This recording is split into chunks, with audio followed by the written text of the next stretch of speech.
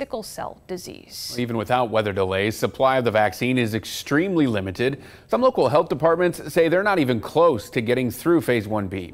13 News reporter Richard Bodie spoke to health experts about the shortage and how it impacts vaccinations.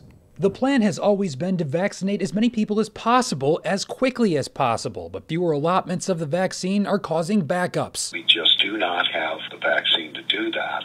We've had to cancel and reduce. And it's not just the Stephenson County Health Department, but places like FHN Hospital, which can vaccinate hundreds of people per day, but has had to cancel and reschedule appointments.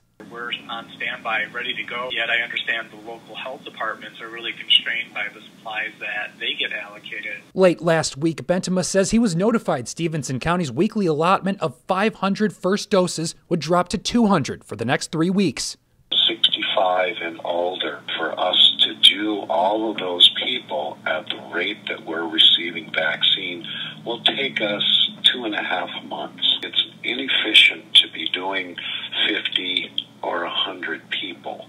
Similarly, Ogle County's public health administrator Kyle Aument says first dose allotment went from 600 doses a week to 200 and forced more than 100 appointments to be rescheduled. So we asked the state of Illinois why first dose allotments dropped around 60%. The state says it needed to fill second doses before starting first doses. But as the vaccine expansion looms next week, Beintema wants the state to pump the brakes. Everybody do their phase 1B, the uh, the over 65 and schools. Then you could move on. Tens of thousands of people in priority groups have yet to be vaccinated, and without the ability to do mass vaccinations, a long process drags on. For your 13 Weather Authority, Richard Bodie, 13 News. Beintema says if it's your turn to be vaccinated and you registered online but didn't receive a call, be patient.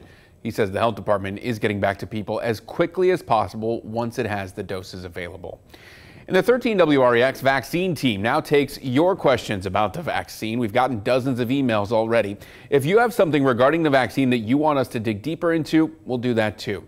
Email us vaccine at WREX.com. One of us on our team will work to get you those answers as quickly as possible.